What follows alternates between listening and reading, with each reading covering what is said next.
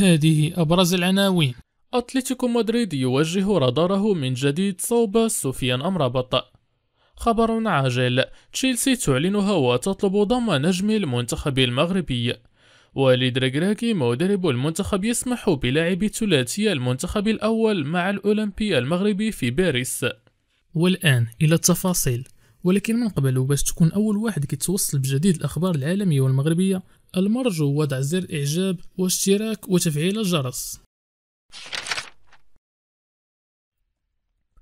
أتلتيكو مدريد يوجه راداره من جديد صوب سفيان أمرابط ذكرت صفحة فيورنتينا بالعربي التابعة لنادي فيولا أن نادي أتلتيكو مدريد عاد للاستفسار عن وضعية اللاعب الدولي المغربي سفيان أمرابط وأكدت الصفحة التابعة لنادي فيورنتينا الإيطالي على موقعها بمنصة إكس تويتر سابقا أنه بمجرد إتمام صفقة اللاعب الأرجنتيني ديبول إلى صفوف نادي الأهلي السعودي سيتوجه رادار روخي بلانكوس صوب لاعب خط وسط الدفاع لنادي فيورنتينا الإيطالي سفيان أمرابط من أجل إنهاء الصفقة خلال الأيام القليلة القادمة وذلك قبل انتهاء الميركاتو الصيفي الحالي.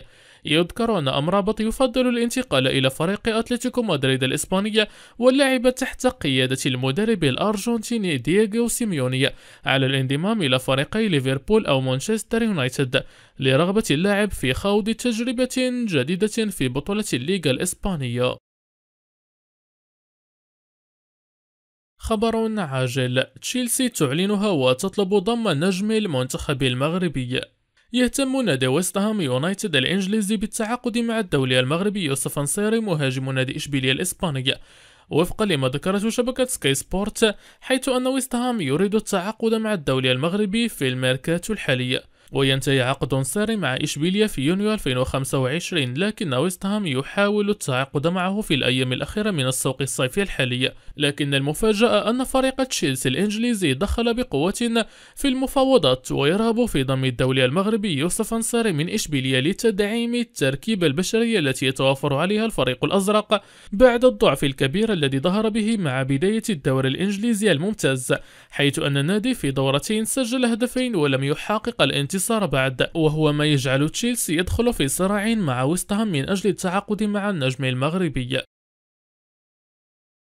وليد رجراجي مدرب المنتخب المغربي يسمح بلعب ثلاثي المنتخب الأول مع الأولمبي في باريس.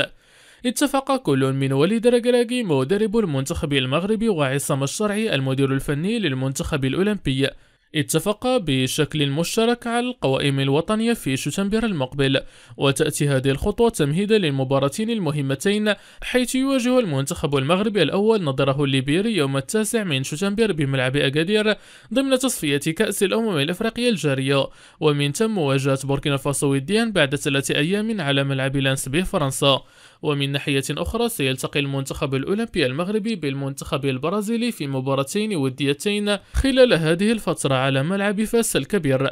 وفي هذا السياق تم عقد اجتماع بين الرجراجي والشرعي للتوصل إلى اتفاق حول اللاعبين الذين سيشاركون في المنتخبين خصوصا بعد تواجد الست لاعبين من المنتخب الأولمبي مع المنتخب الأول في نهائية كأس أمم إفريقيا للشباب دون 23 سنة حيث تمكن المغرب من التتويج بالبطولة والتأهل إلى أولمبياد باريس. ومن المتوقع أن يسمح الرجراجي بمشاركة العديد من لاعبيه مع المنتخب الأولمبي في مباراتي البرازيل باستثناء بلال خنوس وإسماعيل سيباري وعبد الصمد الزلزولي الذين سيتم استدعائهم للانضمام إلى قائمة المنتخب الأول. الفيفا يهنئ سفيان أمرابط بعيد ميلاده. هنأ الحساب الرسمي لفيفا كأس العالم الدولي المغربي سفيان مرابط بمناسبة عيد ميلاده السابع والعشرين. عبر شرط فيديو جمع لقطات من مشاركته في نسختي 2018 و 2022 من المونديال. وأرفق فيفا منشوره بعبارة عيد ميلاد سعيد لواحد من الأفضل في مركزه حاليا على مستوى العالم. وليد ركراكي يستعد للمناداة على عبد الرزاق حمد الله. وصل المدير الفني للمنتخب الوطني وليد ركراكي التأكيد على اعتزازه بمهارة اللاعب عبد الرزاق حمد الله المهاجم الذي ينتمي إلى صفوف نادي اتحاد جدة السعودية. وقال رجراجي إنه سيعمل جيدا على دعوة حمد الله للانضمام إلى منتخب أسود الأطلس الذي من المرتقب أن يواجه ليبيريا وبوركينا فاسو في التاسع والثاني عشر من شتنبر المقبل. وأشار مصدر مقرب من وليد رجراجي إلى أن المدرب لا يزال واثقا من قدرات حمد الله وسيسعى جاهدا لتقديم الدعوة له خصوصا بالنظر إلى أدائه المميز مع فريقه ومساهمته القوية إلى جانب لاعب بحجم كريم بنزيما. وبالتالي تعتبر الفرصة مفتوحة لاستمرار حمد الله في تمثيل المنتخب الوطني في الوقت الحالي. حساب البريمير ليج يحتفي بنايف أكرد. احتفى الحساب الرسمي للاتحاد الإنجليزي لكرة القدم في الفيسبوك بالنجم المغربي نايف أكرد على هدفه المسجل في مباراة ويست هام يونايتد وتشيلسي بالبريمير ليج وشارك حساب البريمير ليج صورة نايف أكرد عند احتفاله بالهدف المسجل. واضعا إياها كخلفية مثيرة إعجاب المتابعين المغاربة على وجه الخصوص. وقدم أكرد مردودا قويا في مباراة ويست هام وتشيلسي مسجلا هدف تقدم فريقه قبل أن يتعرض للطرد بتلقيه البطاقة الحمراء في مباراة انتصر فيها المطارق على البلوز.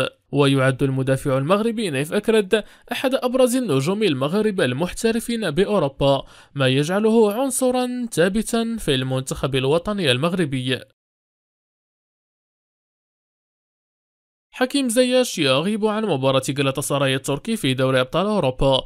كشف أوكان بوروك مدرب نادي سراي التركي لكرة القدم عن لائحة فريقه التي ستواجه مولدو النرويجي لحساب ذهاب مباراة تحديد المتأهل لدور المجموعات من دوري أبطال أوروبا. ولم تعرف القائمة تواجد الوافدين الجدد وعلى رأسهم النجم المغربي حكيم زياش والبرازيلي الجناح تيت بحكم التحاقهما المتأخر بالفريق. وأشارت تقارير إعلامية تركية إلى أن حكيم زياش يمكن أن يسجل ظهوره الأول بقميص فريقه الجديد السبت القادم في مباراة أمام إسطنبول سبور في الدوري المحلي. وكشف مدرب غلطة سراي في تصريحات سابقة نقلها موقع NTV سبور أن الجميع سعيد بالتعاقد مع حكيم زياش وما يؤكد ذلك طريقة تقديمه للجماهير والتفاعل الكبير معهم نهاية مباراة ترابزون سبور في الدوري. وقال المدرب التركي إنها صفقة جيدة ونحن سعداء بانضمام نجم كبير إلى غلطة سراي سيكون اللاعب داعما قويا لنا في خط وسط الميدان وسنستفيد من خبرته في دوري أبطال أوروبا. وأضاف بعد نهاية المباراة رحبت بزياش وقلت له إنه محظوظ بعد ترحيب الجماهير به بهذه الطريقة.